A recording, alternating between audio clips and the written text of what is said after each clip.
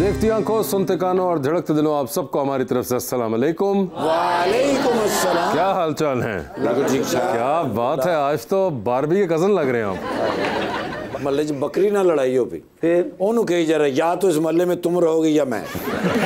मैंने अपने ईमान से बताया कभी आपको कहा है कि इस मोहल्ले में या तुम रहोगे मैं? ऊट तो डिगे ने तो शर्मिंदा नहीं हो रहे कह रहे मैं तामिल फ़िल्मों में काम कर सकता हूँ। लीजिए बुलाते अपने आज के मेहमान को मॉडलिंग से स्टार्ट किया और सुपर मॉडल बन गए और उसके बाद एक्टिंग और एक्टिंग फिर फ़िल्मों में, ड्रामों में, हर जगह। आप सब की तालियों में जनाब Mikaal Zulfiqar.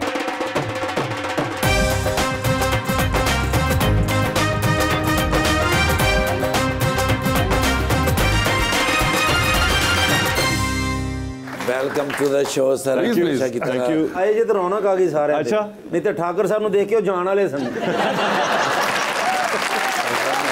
ऐसे ठाकुर साहब की आनियाँ जानियाँ लगी रहती हैं और अक्सर ठाकुर साहब से मुलाकात होती है एयरपोर्ट पे या किसी फ़्लाइट पे और वो भी लंबी फ़्लाइट पे। नहीं अक्सर ऐसा होता है सर ट्रैवलिंग इकट्ठी हो जाती है। अरे वाह। हाँ जी हाँ जी। क्या बात दो तीन दफ़ा ऐसे इतफाक हुआ है और एयरपोर्ट का एक मखसूस कोना है जहाँ हम दोनों पाए जाते हैं लेकिन वो सीक्रेट है। सर जी एक बहुत ही खूबसूरत सा शेर आपकी तरफ़ से लिखा है। न छोड़ा सच कबूल आखिर खसारा कर लिया है मुखालिफ शहर भी सारे का सारा कर लिया है। कहीं मुझ पर भी उनका रंग ना आ जाए गालिब। सो बुजदिल बेजमीरों से किनारा कर लिया।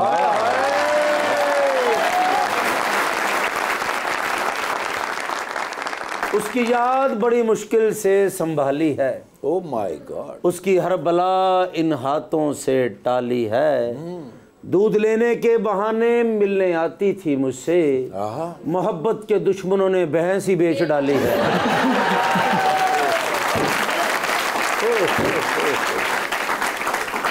वैसे एक सवाल है ये शायरी लिखता कौन है? मगर वैसे आपको कोई शेर व शायरी का शौक है? अनफॉर्चुनेटली बिल्कुल भी नहीं है और मुझे समझ भी नहीं आया दोनों ने क्या कहा अभी। भाईजान आप मोहब्बत में कामयाब हो जाते हैं ना साढ़े प्रॉब्लम ने मगर चले आपने खुद तो कहा कि शौक नहीं मगर आपको भेजते हैं लोग शायरी? समटाइम्स कोई हाँ। फैंस भेजते हैं हाँ, हाँ कभी कभी बहुत ज़्यादा नहीं लेकिन। समझ तो आती हो समझ आ जाती है हाँ, मैं तो ऑपरेशन का तरीका सुनाया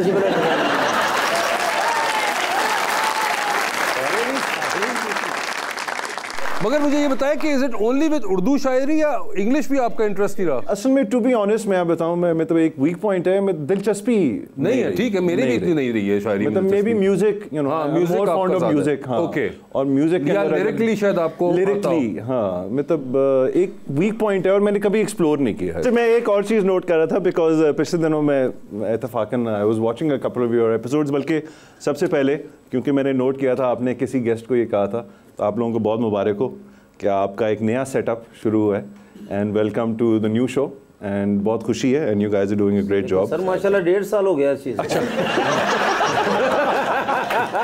तो फिर बहुत पुराना एपिसोड कोई मैंने देखा था। लेकिन एक चीज़ मैं नोट कर रहा था कि ऑब्वियसली आप दोनों का सबसे ज़्यादा इनको मज़ा आता है तेरा मज़ाक उड़ाते हैं। आप देखिए मार्जिन भी कितना है उनके पास ਸਰ ਆ ਪਿਆਰੇ ਹੈ ਨਾ ਉਧਰ ਤੇ ਵੇਖੋ ਤੁਸੀਂ ਤੁਸੀਂ